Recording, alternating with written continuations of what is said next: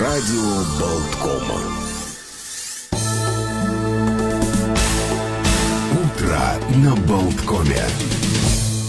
Продолжается утро на Болткоме. Олег Пек, Александр Шунин. И вот с большим волнением действительно мы представляем следующего гостя, потому что э, я думаю, что неразрывно связано с э, Латвией, с Ригой, вот какое-то лицо э, Латвии – это Домский собор, Домский собор – это Евгения Лисицына, потому что, ну, вот, ну, наверное, какая-то, ну, как кармическая просто связь. Очень многие э, в семьи, я думаю, хранят, если еще виниловые свои фонотеки, пластинки, которые были записаны в Домском соборе, соборе, особенно трактовка э, времен года в Вивальди.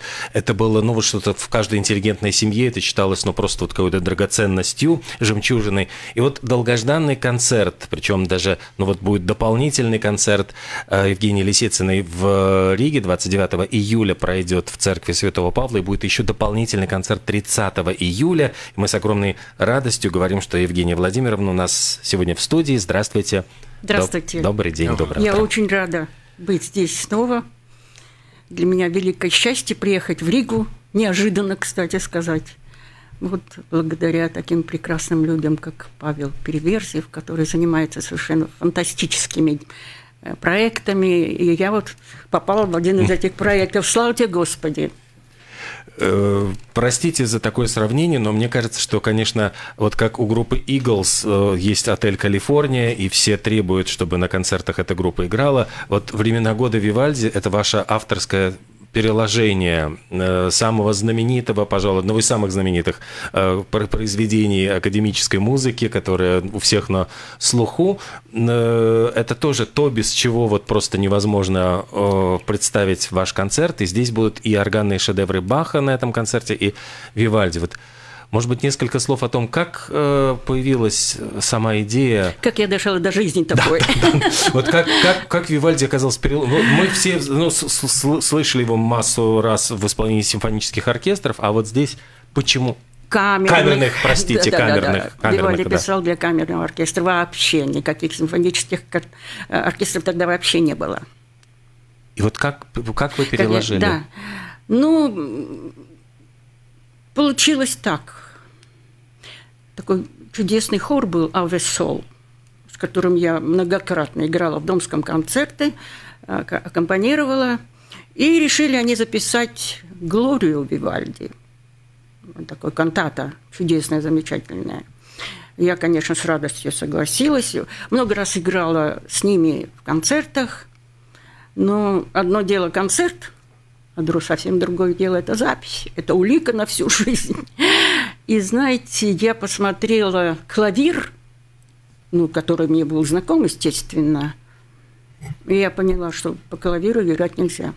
Надо брать партитуру, она такая не очень сложная, и делать переложение всерьез, чтобы каждая нотка была на месте, автор. Каждый автор. Для меня автор – это все – каждый автор, когда он что-то сочиняет, он вкладывает в себя целиком и полностью. И я хочу, хотела, чтобы все услышали то, что хотел автор передать. Я села, это был бог знает какой год, даже страшно сказать, села и написала это переложение. И получила массу удовольствия от этой работы. Причем за месяц я сделала там же 40 минут музыки. Я с удовольствием сделала это переложение, это называется переложение, если уж по-русски. И через год записали эту, это переложение мое. Надо сказать, что всего-то полгода был э, парад, хит-парад классической музыки, который объявил «Комсомольская правда» в те времена, и перепечатала «Молодежка». И вот я эту молодежку, я, наверное, выписывала, я уж не помню, одну из этих молодежек я открываю, хит-парад классической музыки. Первый раз я даже удивилась, обычно всякие попса, да, а тут серьезная музыка. Ну, хит-парад, который э, значит, демонстрирует самые популярные записи на то время. И вдруг я открываю 10 самых популярных э, пластинок, и на десятом месте мой Вивальди оказался – я стала гомерически хохотать, потому что я этого совершенно не ожидала. Но... Попасть в хит-парад. Да, ну, такое всесоюзное, это же, слава богу, странище была. Но Вивальди есть Вивальди, он, конечно, покоряет всех. Вот. Причем так было. Каждый месяц выходил этот объявление этого хит-парада, и в, каждой, в каждом из этих месяцев мой Вивальди поднимался по ступенькам. И он дошел, причем там, знаете, Светлана, там Коган, такие великие звезды, и я среди них, и, конечно, я была потрясена. Но кончилось тем, что где-то было на пятом месте уже добрался мой Вивальди, и туда еще мой Бах попал, моя пластинка Баха. Ну ладно, Бах, это понятно. Ну ладно. Ну, через полгода все это прикрыли. Я думаю, что я им так надоела, что они решили больше не делать этого, не искушать судьбу. Вот так с этого началось. И, знаете, как-то все было для меня это, все было не так, как я хотела бы, но я еще не умела ничего и не знала эту область переложений для, для органа. И вот сколько лет прошло, я все время оттачивала, так, чтобы это было легко играть, и чтобы все было от автора, это очень важно для меня. Это на первом месте автор, и, конечно, чтобы это было удобоваримо. Я смотрела баховские переложения. У Баха тоже есть Вивальди переложения. Концерт ля минор знаменитый, концерт ре минор, который как будто даже и не Бах написал. А кто, я спрашиваю, если не Бах? Скажите, кто вот стоит рядом, вот, если послушать эту, посмотреть эту, это переложение. И, значит, я относилась, вот повторяю, что как-то ну, я всегда к себе, к себе так отношусь, мне все не нравится, что я делаю, не видеть а записи, не могу. А записи ваши? И записи, и записи тоже. Я могу через 10 лет послушать, и потом, потом, неужели это я записала? Даже так. Вот. И вот к сегодняшнему дню я должна сказать, что я пришла к какому-то очень хорошему такому моменту, когда даже мне, меня это устраивает, это переложение. То есть оно меня, вы его совершенствовали? Я постоянно что-то меняла, потому что это было коряво, это было неудобно, потому что одно дело на скрипке играть, другое дело играть то, что играет скрипка, на органе сыграть. Есть свои приемы, я очень многих, многие интересные моменты я для себя вывела, как это делать. Например, вот такой очень любопытный один из них. Например, если это, кстати, есть уже в Глории, а я этого еще не знала, я потом пришла к этому. Значит, у органа есть такая особенность. Чем выше звук, тем он громче. Чем ниже звук, тем он тише. Естественно, давление в трубах везде одинаковое. Толстая труба звучит тише, естественно, с тем же воздухом, количеством воздуха. Тонкая труба звучит громче. На этом основана вообще полифония вся чудесная. Вот. И вот даже не, потом я еще сделала переложение Вивальди, еще один концерт ми минорный, очень красивая музыка тоже. И там в средней части было такое, значит, на скрипках это играется, ну, там, виолончель, там, контрабас, тадам, тадам, тадам. Сыграть это на органе невозможно. Я беру октаву, тадам, сверху вниз, и получается вот это за такт сильнее, чем нижняя нота, она тихая, а верх очень тяжело. Я поняла, надо перенести наоборот, надо та снизу вверх. И получилось то, что я хотела. Но это пришло не сразу. Ну, вот такие, я просто такой маленький пример. Но вот все состояло из этого, чтобы инструмент зазвучал как, ну, примерно как если бы слушал сам автор. Да, вот я как бы а кланяюсь автору прежде всего. Ну, и хочу, чтобы публика тоже любила. Но надо сказать, со временем публика настолько полюбила эти времена года, моей уже теперь имею право сказать, что, допустим, я мне предлагают куда-нибудь поехать сыграть концерт, я говорю, давайте вот такой программу, такой. Нет, пожалуйста, сыграйте Вивальди. Уже без Вивальди ни один концерт не может состоять. Ну, просто, просто даже обидно, ну, кроме Вивальди есть еще много музыки. Ну, я, конечно, там и Баха играю. Вот, сейчас я в Москве буду играть Регера. Ну, но Вивальди на первом месте. Даже, вы знаете, к этому я пришла, что это так. Этого не было. Долгое время я и не играла даже это как-то... Потому что я не была довольна собой. Вот. А теперь как-то вот даже я говорю, ну что, Вивальди? Да, давайте. Вот так. А вот э, эти переложения, они общедоступны? То есть это э, ваша как бы собственность или все-таки могут другие органисты играть ваше переложение тоже? Я делаю такой подарок. Например, Леночке Приваловой, которого для меня, которая для меня многое что сделала, я ей сделала такой подарок, она была счастлива. Причем, вы знаете, я же стесняюсь, я не могу, это мое, я предлагаю, да. Оказывается, люди хотят это играть. Один немец мне написал, не могли бы вы мне прислать? Я ему прислала еще сейчас один молодой парень, который мне ассистент, кстати сказать, живет долго, э, долго в Пилсе. Он сделал вот я забыл, как это называется, он оцифровал это все, понимаете, и это вообще все причесано, все красиво, и это есть у Тараканова. Знаете, угу, да? да. Это. Тараканов, у него есть все. И я ему отослала. Он был очень благодарен, конечно, так что если уж будет большая нужда и потребность, направляет туда, там все можно взять совершенно без всяких бесплатных.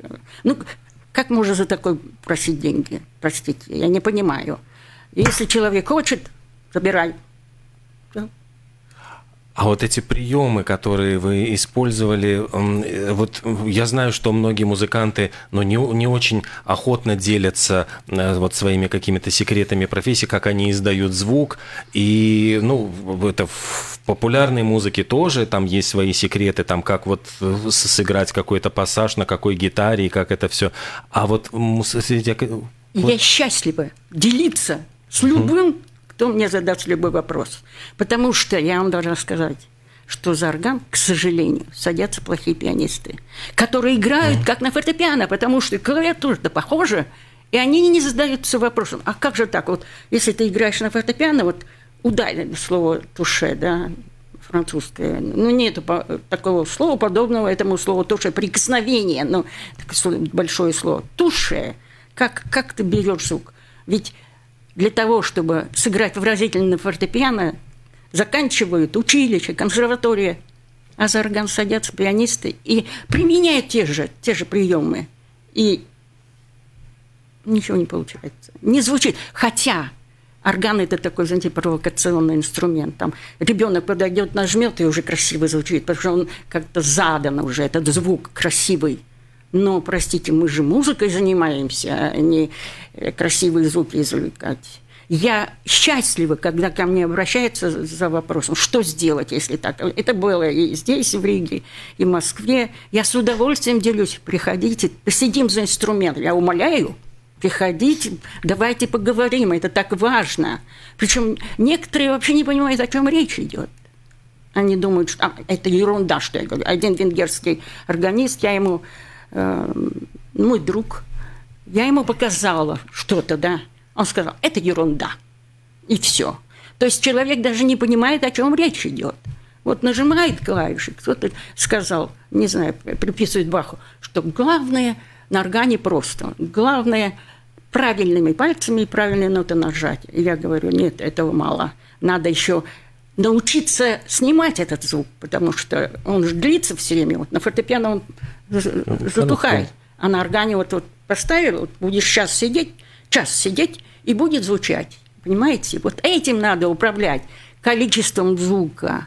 Я к сожалению, уд- удивлен, слушая ваш рассказ, потому что впервые слышу мнение, что на органе играть легко, потому что меня, например, в музыкальной школе учили, я на всю жизнь запомнил фразу «орган не прощает ошибок». Ну, то есть вот э, ну, лю- любая, с позволения сказать, лажа, она слышна сразу. И если себе... ты не берешь ноту четко, она грязная. Грязь – это как бы… То есть то, что можно это скрыть на фортепиано, это за орган не прощает. Это за скобками. Это естественно. Играть надо чисто. Это факт, это правда. Но я говорю о других вещах. Я говорю о том, в какое время нажать, в какое время снять. Как, имея в виду, что все это будет чисто взято и снято. Ну, снять оно будет чисто, конечно, в любом случае. Но во всяком случае делать артикуляцию на фортепиано этому не удивляет такого, такого времени и такого внимания не требует. На органе это все. Научиться выбирать мотив – его, изучать его, где у него начало, где конец, где у него кульминация, сильная доля, паузы, все это, это целое искусство. Вот этим всем надо овладеть. Но садятся и играют. Причем сейчас такая манера. Все играть отдельно. Вы понимаете, будет музыка, хор так поет, а-а-а-а-а, да? Скрипач не играет, та-та-та-та-та, там э, отдельные каждую нотку. А на органе все играют. Чисто играют. Но орган, он, я еще раз повторяю, хорош тем, что он сам по себе звучит красиво. И на это органист не влияет. Он, этот инструмент, он такой, какой он есть. Есть хуже, есть лучше. Даже электронный и то. Но все равно надо соблюдать вот эти правила, о которых почему-то не говорят. Почти не говорят, мало кто говорит. У нас очень мало времени осталось, а я нашим слушателям напомню, что в студии у нас Евгения Владимировна Лисицына, и 29 июля и 30 июля дополнительный концерт в Церкви Святого Павла. А э, почему очень важно побывать на этих концертах? Потому что, вот, ну, к сожалению, Евгения э, Лисицына живет-то сейчас уже в России, и вот приезжает на концерты к нам, вот буквально счастливит нас отдельными такими приездами, и поэтому очень важно успеть услышать самые главные главные произведения? Я должна очень важную фразу сказать, что могут прийти все, только надо сделать тест. Причем это делается очень просто. И это делается на два дня, вы даже можете в ресторан с этим тестом пойти. Вот это очень важно, что, ну, можно на этот сайт зайти, концерты, mm. да, и там все описано, как это делать. Все это Ладно, больше не буду говорить. Ну, это важная а вещь, и спасибо, что предупредили. Ну, а как? Потому что мне пишут в Фейсбуке и говорят, а вот мы бы пошли, но вот там, как сейчас уже, понимаете, это вообще ужас, что происходит. Вот надо зайти на этот сайт, если хотите подробности. Надо сделать тест. Все, на два дня у вас этого теста хватит, и вы придете и послушаете, и все. Только не 20, 22, 30 дополнительно. Да, 30 дополнительно 30 и 29 да. Я, может, июля. неправильно угу. услышала. Да, и э, еще раз напоминаем, и возможности вот э, в России-то вы поиграли-то в каких, на каких органах вот по сравнению с, с нашими, есть ли отличия? Ну, Домский, конечно, это лучший для меня во всяком случае. Ну, не только для меня. Он входит, я не знаю, в десятку, пятерку самых знаменитых. Любой органист, конечно, для него честь играть на этом инструменте. Так было. Ну, что касается России, вот такого уровня, как Домский, честно говоря, я даже не могу назвать, что рядом, как Домский, как Домский. И его огромный размер – и его божественное звучание, все, его акустика, все тут собралось прекрасно. Ну, я в Москве, например, в католическом соборе на Малой Грузинском, Грузинской, играла недавно. Не, немного у меня концертов. Потом я играла Петре и Павле в Москве. Потом я сейчас вот ездила в Сибирь, там играла, в Казани. Концерты есть. Ну, не столько, сколько бы мне хотелось. Я привыкла играть много. У меня, когда я была в филармонии, я играла 3-4 концерта в месяц.